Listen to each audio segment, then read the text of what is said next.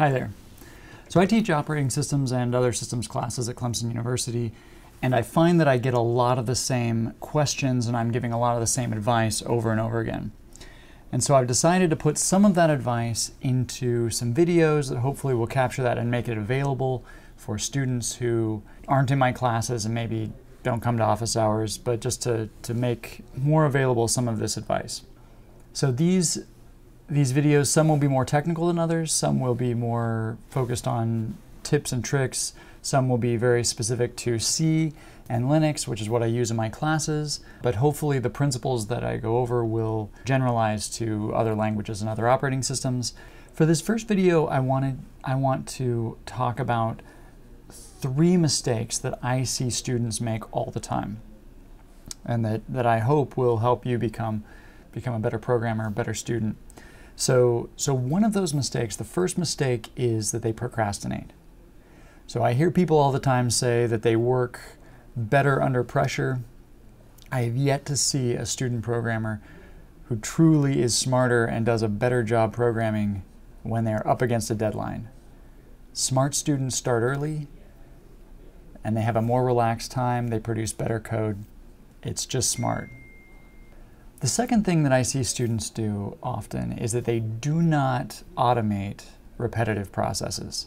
So this includes your build system, this includes your, uh, your testing, all of these things, students, I, they're so focused on what they're learning in class that they forget that they're programmers. And programmers automate things and it causes them to make a lot of silly mistakes. There are a lot of mistakes that are made just because people are doing things manually over and over again that could be handled in a makefile, that could be handled in automated tests. And this is just, it's just a silly mistake that causes a lot of problems. Okay, so the third that I want to talk about is that they don't use a debugger. Instead, they use printf to do their debugging. Now this, I know printf was the first I.O. technique you ever learned. It was in that, that first Hello World program and you love it so much. But if you debug with printf, it's time to stop. printf is not a debugger.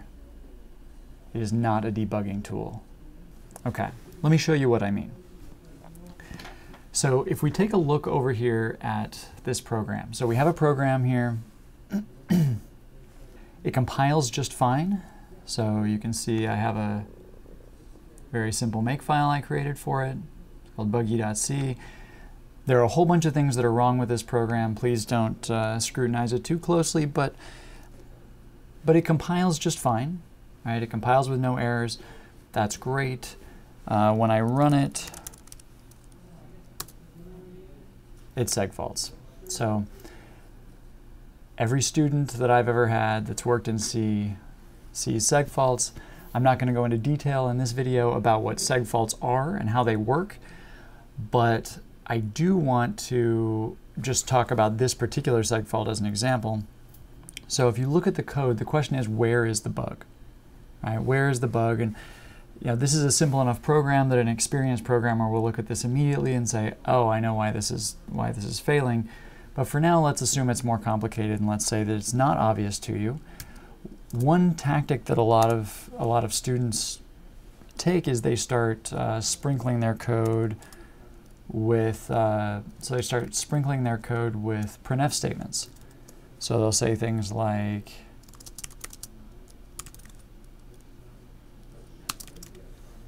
so we'll put this here.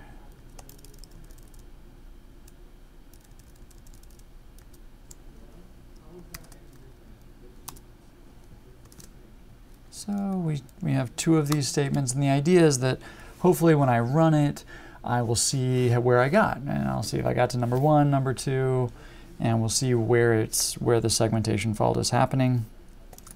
So let's see what happens. Now, if, if a student were to take this approach, one of the things that happens all the time is that they might they might try this and they go, oh no, the segfault occurred, it didn't print any of my statements. And this is the point where students start to, well, they, they might start to cry, They might get really frustrated. They might start saying things about magic or you know bugs in the operating system or their their machine is possessed because they're they're saying it's crashing before it ever gets to main because the first thing I'm doing is a printf. In truth, that's not what's happening. But let's see what happens if we use a debugger. Okay, so I'm going to use GDB. You want to make sure if you look in your makefile, you're going to want to make sure that you use, if you're using GDB, that you compile with debug symbols included, so dash G in this case. Okay, so so now if I say, if I, if I load this in GDB, um, yeah, get all started up, and I run it, well, so, okay, so it runs till it seg faults. It hits the segmentation fault. Now, initially, this may not look helpful because it tells me it, well, it is helpful. It tells me it, it seg faults in, uh, in string copy. I can use this, the backtrace command to look at uh, how we got there, and it says it crashed at buggy.c at line 17. So right here, line 17, this string copy, that is where we're running into trouble. Okay? I can go up the stack using the up command, and I can look at things like, well, so I, I know that there's a problem with one of my one of my pointers, right? That's that's how seg faults work.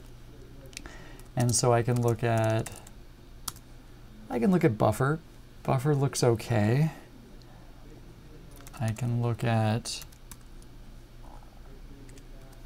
argv1, which is the other one, and oh, that's null. So I'm trying to copy from a null pointer to uh, into this buffer.